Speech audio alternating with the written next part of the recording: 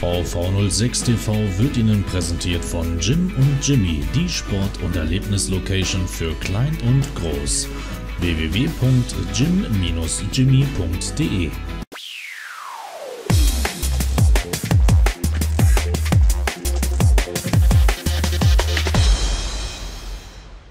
Herzlich willkommen zu VV06 TV.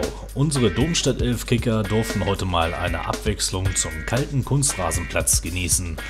Denn es ging zum Sportpartner Jim und Jimmy der neuen Sport- und Erlebniswelt in Hildesheim.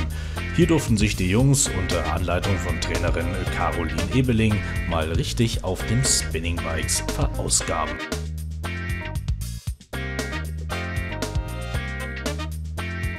In zwei Gruppen ging es dann eine Stunde lang auf dem Drahtesel richtig zur Sache.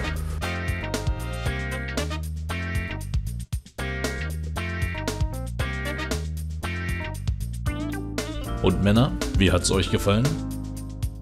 Ja, war sehr gut, äh, abwechslungsreich. Das Spinning-Programm war heute sehr anstrengend und ich denke, ja, wie gesagt, so eine gute Abwechslung.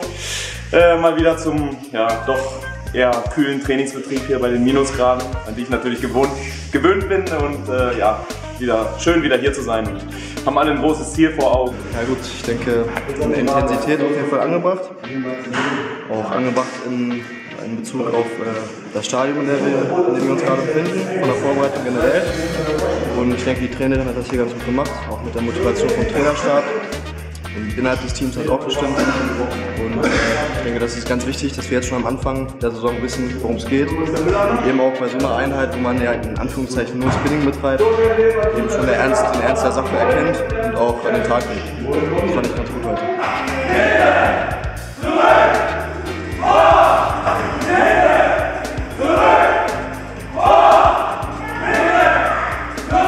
Sehr gut, anstrengend, auch mal was anderes zum alltäglichen Training und ja, war schön. Und weil es auch so schön war, gab es nicht nur Applaus, sondern auch Lob von der Trainerin und dem Trainer.